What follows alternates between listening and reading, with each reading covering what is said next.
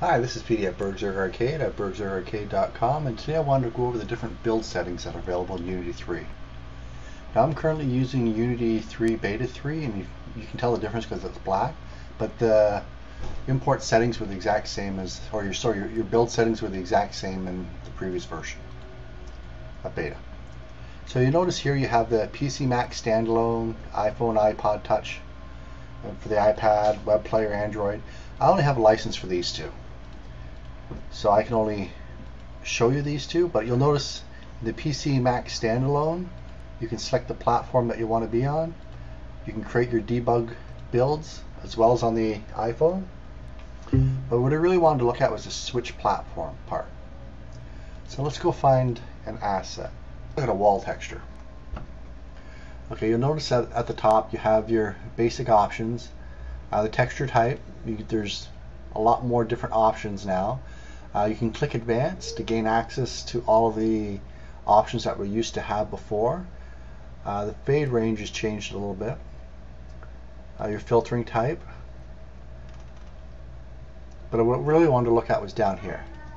Now you can set up different ways that this asset's going to be handled for different platforms that you're going to be building on. So by default, here we go. This is what we're looking at. Now we can set it for the Mac and the PC standalone version. We can come in and override, change the maximum size of this texture, as well as, as well as the different type of compression that we want applied.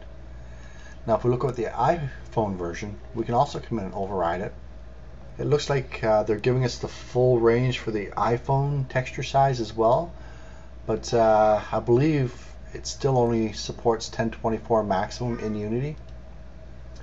You can also pick your texture format that you want to support as well. So how exactly does this work? You pick your size that you want, hit your apply button, come back to your build settings, select the platform you want to build for, hit switch platform, you'll see a little pop-up window. It'll come in and it'll re-import all of your assets and change them to the format and the size that you actually want. So unapplied import settings for, okay, so it's telling me that it has uh, uh, unapplied. So we'll go there and we'll apply them now.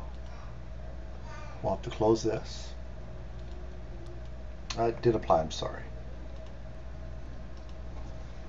So now with Unity 3, we'll actually have more control over how our assets are going to be handled on different platforms. I'll see you in the next video.